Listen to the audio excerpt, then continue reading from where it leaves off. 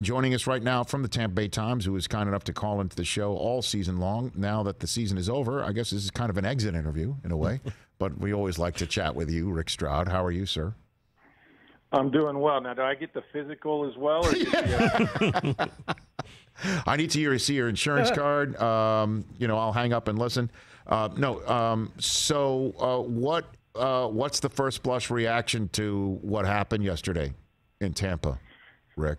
Oh my goodness. Um, well, listen, I, I don't know how far this team would have gone beyond on beyond Sunday had they won that remarkable comeback, and, and, and if they'd have pulled it off, I think we'd be talking about a Rams collapse more than Tom Brady's comeback. But um, you know, I, it's it's a disappointing, right? When you when you don't have the confetti fall on your head, when you have a guy like Tom Brady the finality of an NFL season, as Bruce Arians correctly said, is is is you know not good.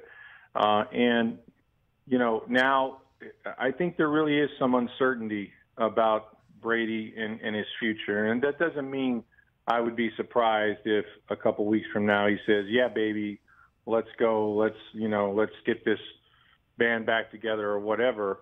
Um, but at least for the first time, you know, when he extended his contract back in March, there, there didn't seem to be any question that he was he was down until he's 45. You know, I'm going to play to 145. Maybe I can play to 150.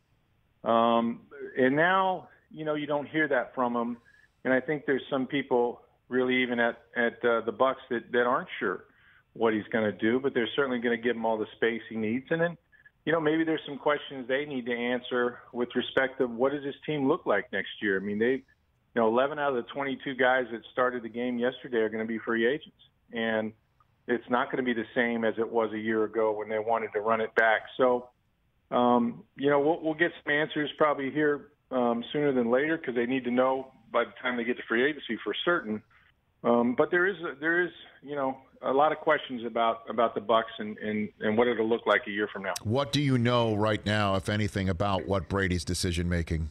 Will be formulated or how it's formulated at all, Rick? Well, what I was told um, when he got here is that you know two two big things um, with him are are the most important. One is his health, um, and by all accounts, he got out of this season a year ago. He played with a torn MCL, as we know, but he got out of this season feeling pretty good. I mean, he took some hits in some games against the Saints and others, um, but it's remarkable how he's kept himself in shape. Certainly you watch that throw, the 55-yard bomb to Mike Evans. There's nothing wrong at all with his arm strength. Uh, he can still spin it.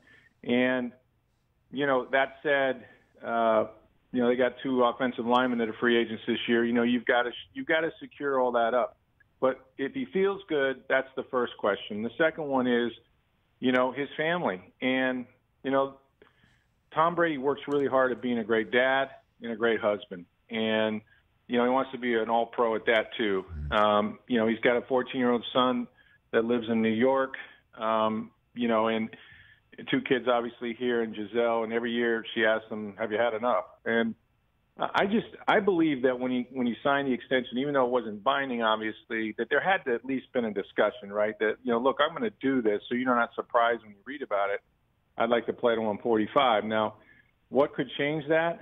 Anything, right? I mean, his kids are getting older; they're involved in sports of their own. Um, you know, certainly he has enough to do off the field with all his businesses and the Brady clothing line, which, by the way, is at Nordstrom's right here in Tampa. It looks really nice. I like some of that stuff. Um, shameless plug, but you know, it's it's anybody's guess, right? But he just enjoys it so much. It, but you know, I don't have any question that he he will play and and, and would play if but the pull that he feels is greater, the tug greater a little bit every year with his family. And these have been two magical years for him, I think, and for the Bucs, obviously. It didn't end with both Super Bowls, but if you take just the combined success they've had, I mean, aside from going one and seven against the Rams and the Saints, there's the two. They're like 29 and three or 28 and three against everybody else. So, um, you know, that's a long-winded answer saying I don't think anybody knows, but there is genuine concern, or at least, um, you know, the question is there as to whether he'll be back next season or not, and that that question still exists at the Bucs right now. Well, I guess the fact that Rick Stroud, Tampa Bay Times here on the Rich Eisen Show, I guess the fact that you did not mention roster as a concern for Brady is a good thing, obviously. Um, and uh, on that front, uh, I guess the question is do you think part of him, this may be another reason why he would want to come back, is that if not for the injuries and then one of his crucial receivers strip sacking himself uh, in New Jersey, um, that he would still be playing today? That he sits there and he thinks about that. What do you think, Rick? Yeah, I I think that um, roster is. I didn't mention it, but that's on me. Um, I, I think the roster is important, obviously, and especially when two of your offensive linemen, including the Pro Bowl center, is a free agent, right? Now it's a chicken and the egg, right? You can get a heck of a lot of guys back to come and play with Tom Brady if they know he's going to be the quarterback. You know, so if he's waiting for them to sign or something, well, that's not going to happen until after the start of free agency, which is too late anyway. Um, but they're not in the salary cap situation that say the Packers are um, they're going to have some money. They're, there's a lot of free agents, so a lot of those contracts will drop off. Obviously, they're about middle of the pack with respect to, to salary cap space. They have kicked some, you know, the can down the road to to get everybody back a year ago. So it won't be like you know all 22 are coming back. But you also have the draft and you have free agency, and and and he's the biggest draw in free agency. So I think he would be confident that Jason Licht and Bruce would do everything they could to put the best team around them that would include Chris Godwin, right? If you franchised him again or brought him back, that would probably include, um, you know, one of your offensive linemen or both. That would include a Carlton Davis and and you know some of the key elements of their team. So there's enough talent and still a young core on this team that he can win with, especially in this division. Um, but can you win it all? And and I think Tom thinks he can win it all with anybody, you know, and you know, I think Gronk would come back if Tom comes back. I think that those two are somehow related in my mind. So um, I don't. He's not. He's not scared of anyone. We know that. But I think it is. I think it is still. He would want to know what the plan is, and you know they'd have to give him some assurances, and and I think they would do this. That they will mortgage any future, move any mountain to make sure that Tom Brady's their quarterback if he wants to play because business is good here in Tampa Bay right now, folks. Let me let me assure you that they're relevant. They've been to a Super Bowl. They won 14 games this year. They're very happy about what Tom Brady has brought them, and they'd like to keep they'd like to keep this going. Yeah, first division since the aughts as well. I mean, so yeah, yeah obviously things are things are going well there. Rick Stroud here on the Rich Eisen show. I, I noticed you said business is good and not booming. Um, you know, and I am, I am, I guess, mandated to linger here a little bit because you're already hearing the conversation that that that what was missing in a way. Um, clearly, you know, a quick game would have been required um, yesterday. The way that that Brady was getting hit. And then more targets um, with, with, playmakers that you'd have to be concerned about. Certainly, if you've got Jalen Ramsey with uh, one side of the field, or, or however they were playing it. Uh, and today, um, my our friend Brandon Marshall does have an interview out with um, Antonio Brown where he said that Arians never wanted him there and was very negative about his presence there and so on and so forth. And I know that there's a large grain and there's a lot of salt. But do you think like what what did happen? Any any more ideas in the last two three weeks about what did happen with Antonio Brown and if he was there yesterday, there would have been a different result? Rick? Um, there's no question Antonio Brown makes them a better football team, and not by a little, but probably by a lot. Um, he's just that kind of player. You know, he missed all those weeks, came back against uh, what was it, Carolina? I think had ten catches for over 100 yards, and and you know the talent is there. Talent's never been the issue.